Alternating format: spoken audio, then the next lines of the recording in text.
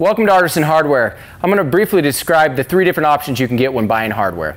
Option one is the classic, kind of the industry standard when it comes to sliding barn door hardware. You get a track, you get spacers, you get stops, and you get lags.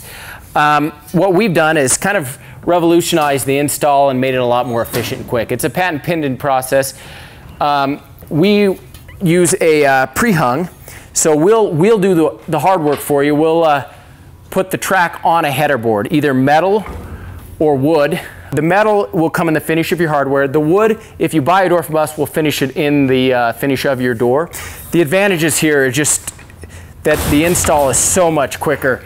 All you'll do with this, it's more like hanging a picture than, than a complicated uh, set of hardware.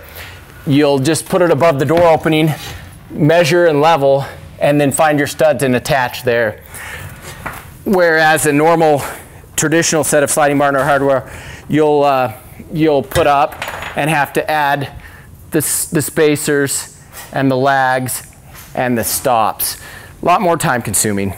If you can, I would go pre-hung. It's uh, quite a bit more efficient and I think you'll, uh, you'll, like, you'll like installing it a lot more and get it, get in and out quicker and have a better install.